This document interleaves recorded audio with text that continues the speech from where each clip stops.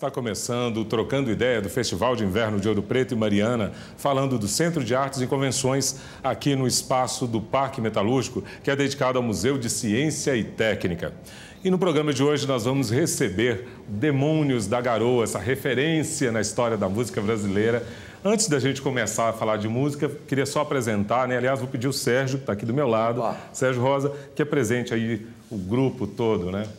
É, temos aqui o meu filho Ricardinho, né? O Israel Caldeira, Roberto Barbosa, o Wilder Paraíso e o Simba. É uma galera que está unida há muitos anos, né? Grande parte, o Ricardinho é mais novo, É. mas veio aí. Mais novo é o, mais novo é o Dedé. É, o Dedé Mais novo é há o menos tempo, né? Ricardinho só em idade. Essa terceira, terceira geração. É a terceira, geração já. Geração. Começou com seu pai, né? Isso. É. Agora lá há 60 anos, né? Demônios da Garoa começou. Aliás, vamos começar a falar disso. Por que demônios? Por que vocês eram chamados de endiabrados quando foi citado, né? Quando foi escolhido o nome de demônios? Vocês aprontavam muito naquela Não, época do quando eh, naquela ocasião o meu pai tinha 14 anos, 14, 15 anos. Então eles perambulavam lá. Quando eles começaram era Grupo do Luar. Sim. sim. Aí ganharam um concurso na Rádio Bandeirantes, programa Hora da Bomba. Ganharam o direito de participar do programa do Vicente Leporassi, duas vezes por semana na Bandeirantes. E ele anunciava esses endiabrados Grupo do Luar. É E da Garoa, porque era uma meninada especificamente da terra da Garoa, de São, De São Paulo. Paulo. Ficou Itaí aí há 65 anos. É. Demônios da Garoa. Inclusive falando dessa questão de São Paulo, é possível, né? Vocês são uma representação do que dizem hoje do samba paulista. Mas o que, que a gente pode falar de diferencial desse samba paulista? A gente consegue diferenciar na música brasileira, né? Alguma coisa dessa região? Como é que é isso? O Demônios da Garoa.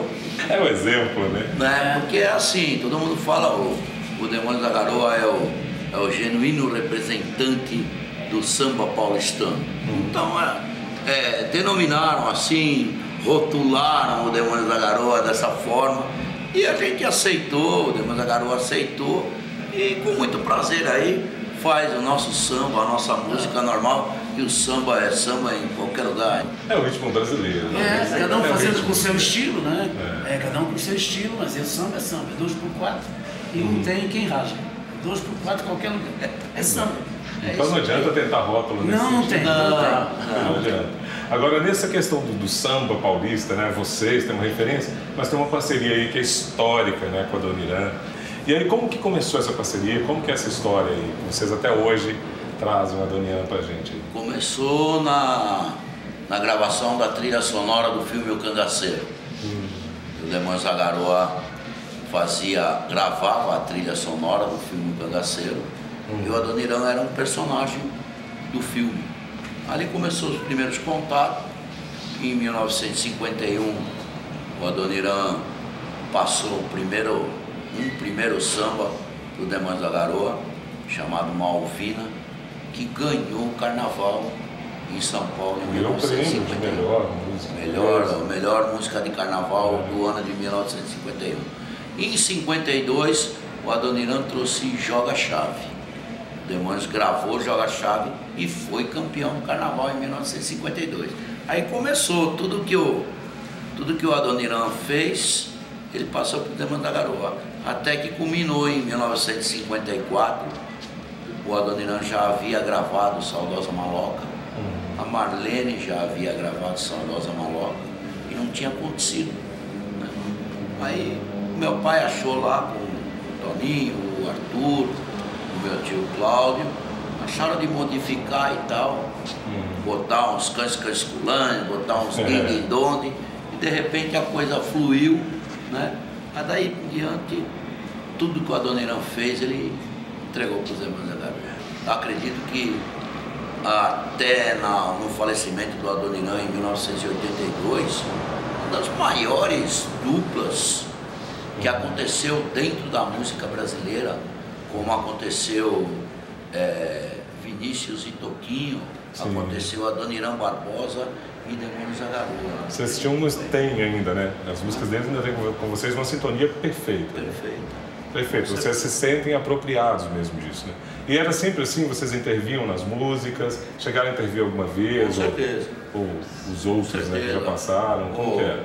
O, o Canhoto disse que o, o trem das 11 tinha um, era uma letra enorme. Ah, é? Era um testamento. Então a letra era bem maior. e Vocês É, a fizeram letra, já uma... o, o grupo foi, foi podando porque tinha muita letra para pouca melodia. Ah. Né? Então foi podando e É, tal. não teve jeito. Não teve jeito, aí virou aí esse rebento que foi aí o trem das 11. A gente pode ouvir um pouquinho de 30 das 11 para encerrar esse bloco rapidinho?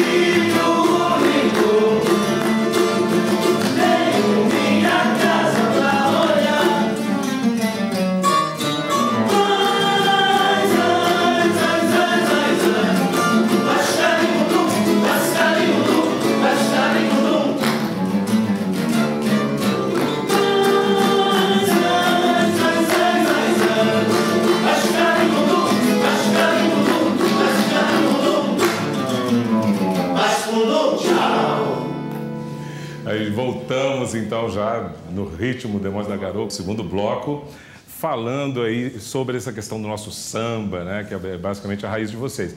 Mas vocês passaram aí por uma mudança que é a era do rádio e depois a gente veio a interferência da televisão aí há pouco mais de 50 anos, né? Como é que é? Vocês imaginam alguma diferença nisso? Eu acho que hoje ficou mais fácil, né? É. Meu avô costumava dizer que no rádio só escutava e agora estavam escutando e assistindo, né? Era essa a É. diferença. Ele gostava É. disso, né? De- É, ampli- dessa repercussão. é, Ampliou a divulgação, né? Uhum. Através do rádio e depois televisão. Então ampliou muito. E o campo, o campo ficou restrito para muita gente, essa é. Eu Aí a mídia entrou na parada porque o, importante é dinheiro. Eu acho Com que a- tudo isso, investir para ganhar. A pior, não Antigamente é a melhor diferença, a pior diferença que, que existe é que antes a gente recebia cachê para fazer televisão. Na televisão tem que pagar. É o oposto. Agora vocês, graças a Deus, independem um pouco dessa mídia, né? Que vocês são admirados por todo esse Com país. certeza. E, aliás, até fora desse país, né? Muitos, né? Fora também. É, mas tem uma coisa que chama muita atenção de vocês, na- nos admiradores de vocês, que é a diversidade de faixa etária, né? A gente tem todas as gerações, sabem cantar, né? Demônios da, da Garoa, conhecem um refrão, conhecem uma música, o mínimo que seja, mas a maioria conhece muita coisa, né? Conhece, sabe cantar várias músicas. Como que é isso nos shows? Vocês têm essa diversidade mesmo? Tem essa presença? A gente percebe, mas será que o que a gente sente do lado de cá é realmente o que vocês sentem nos Eu shows? acho que felizmente, na época que nós viemos, a mídia veio e não conseguiu engolir, entendeu? O sucesso que é Demônios da Garota e que continuou, tá certo? Que aí isso quer dizer valor, modéstia à parte. Demônios Isso da Garoa também é uma coisa muito família, né? Você, o nosso público, o pessoal vem e fala muito legal, você está ingressando agora, uma coisa que começou com o seu avô, eu, meu pai escutava, meu avô escutava. Então mantém que a gente, vocês continuam com a mesma qualidade, a mesma característica. Então mantém esse espírito que vocês têm alegre, essa característica para vocês, né, conseguirem manter. Então acho que é por isso, Demônios da Garoa é uma coisa que tá é bem familiar. Então acho que é com isso que a gente consegue manter a característica e passar de geração para geração. Todo mundo sente mesmo esse clima, né? Essa coisa toda. Agora, como que vocês fazem para manter esse padrão? Porque aí que tá, né? Assim, uma coisa é fazer o sucesso, agora manter, compor novas músicas que não fujam, ou, né? Claro, a música nunca é igual. E aí? Como que Exato. vocês fazem esse processo de continuidade? Como é a composição de novas músicas? Como que é isso? É, que a gente gosta de manter a característica, né? seja em qualquer gênero. E o Demônios da Garoa é um conjunto vocal que veio copiando os conjuntos antigos, né? da década de 40 e tal, mas ele continuou com essa característica e foi o único que permaneceu, os outros demais ficaram para trás. Né? Por conta também da mídia, uma série de coisas. E o Demônio Garoto conseguiu ultrapassar tudo isso e continuou, porque isso veio hereditariamente, através dos pais, inclusive músicos também, que continuaram sempre tocando as músicas do da Garoa, divulgando em qualquer canto da cidade. Então isso foi muito importante para o grupo, conseguiu passar tudo isso. Né? Uhum. E foi legal. E nós temos, assim, que agradecer. Né? Aí a gente tem o, o Dedé Paraíso, o Canhoto, que são gente que, que conhece a história do grupo, principalmente o Canhotinho, né? Então ele, ele tem muita sabedoria quando ele vai compor com as músicas pelas quais ele compõe e, e é bem no estilo do grupo, aquele estilo gaiato, as melodias simples e tal. Uhum. Então a gente tenta manter na linha do Adoniran, que é o grande mestre do Demônios da. Não chega lá. É, mas a gente vai na bola, vai na mas bola. a gente vai indo aí, né, meu? Deixa Ah, eu acho que chega lá. Adoro Adoniran, É, mas vocês as músicas são boas, mas não é uma Adoniran. Eu acho que quando eu entrei no grupo na época de 60, É. as músicas eram mais sucesso que o nome Demônios da Garoa. Hoje é o contrário, Demônios da Garoa é mais sucesso que as músicas. Então por isso que o a conjunto permanece. Eu queria então terminar esse segundo bloco pra gente ir pro último agora, com mais uma música, pode ser? Pode, terminar com mais uma Maroca? Maroca.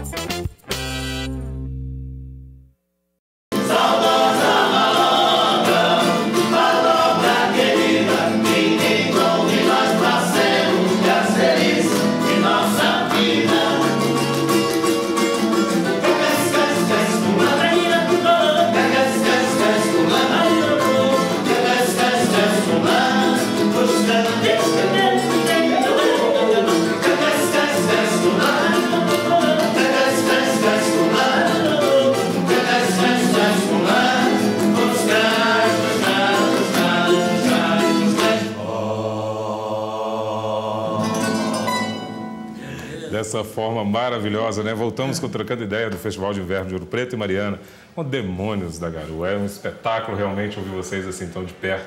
Agora, uma coisa que, que a gente que chama a atenção de muitas pessoas, inclusive estudiosos, é o vocabulário que vocês usam, né? Mesmo em Saudosa Maloca, né, que a gente acabou de ouvir, vocês falam peguemos as nossas coisas, mas é um vocabulário proposital, né? E essa interferência de, de, outras línguas, o que, que é verdade nisso aí? É, existem inúmeras músicas do Adoniran Barbosa que fazem parte do circuito universitário de pesquisas, o porquê daquele linguajar, Comparações. qual a Difícil ocupação, saber o que é verdade. por que isso, por que aquilo, Imigração. o que ele quis dizer com isso, o que ele quis dizer com aquilo. Então é, para nós é um motivo de muito orgulho mesmo, tá? E porque é, o Adoniran dizia que para falar errado precisa saber falar certo. É. E tem pessoas que perguntam o que, o que quer dizer quais quais quais? Quais quais quais é quais quais quais. O uai a uai. É, Uai, uai, uai, uai. Aí hoje. Eu como bom mineiro. Outra coisa que é, é foi super legal, assim, né, da gente, a gente tem um orgulho enorme de vocês serem colocados no, no- Guinness Book, né, como o grupo mais antigo e tal, de referência. Como que vocês receberam esse, esse, esse reconhecimento, né? É um reconhecimento mesmo, você é pouco mais para aparecer. É, Tirando a não, né? longevidade, assim. Mas é, assim, achamos legal. Não é? Nós preferimos essa parte de dinheiro. É, é muito legal, é muito gratificante, mas é assim, de repente você, é, você é visto como o cara mais velho do mundo que está cantando.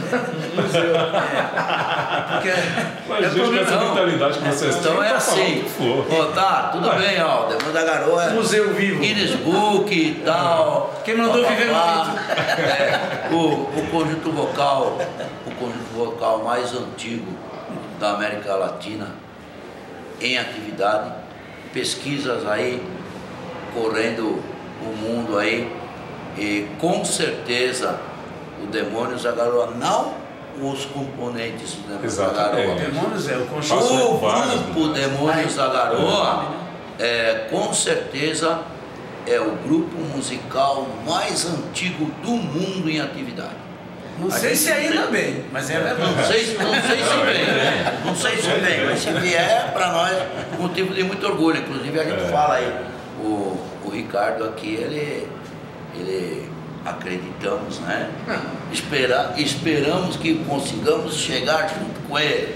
Mas vai ser meio difícil, porque é, Só Deus é que sabe. Só Deus é que sabe. É. Mas ele é da, dessa pessoal aqui, acreditamos que ele é o único que poderá estar Ele tá levando o sendo. Demo da Garoa há um século de É existência. o único que tem a chance de. de né? Ele e o Canhoto. Eu, eu. Não, todos Mas, têm. com certeza. É, eu. Aqui não tem. Agora, inclusive, tem esses que são, são os novos aí, que estão entrando, né? Como que foi essa, essa coisa de entrar pro Demônios da Garoa? Poxa, quando você Bom, nasceu, é, é, é, era, né?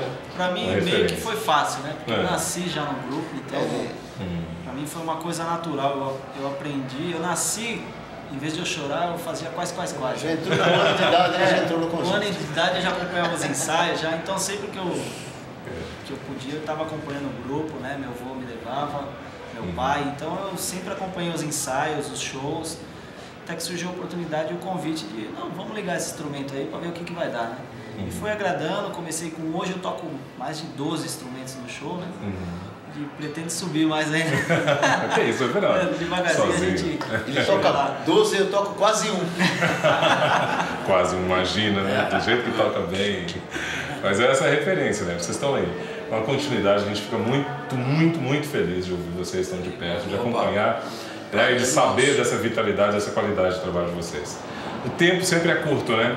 Eu Opa. queria que a gente encerrasse o programa aí ouvindo vocês mais uma vez, pode ser? É. Podia ser Tira o Álvaro, que eu sou apaixonado. Com certeza. Sou apaixonado com essa música. Querendo fazer o vídeo pra vocês.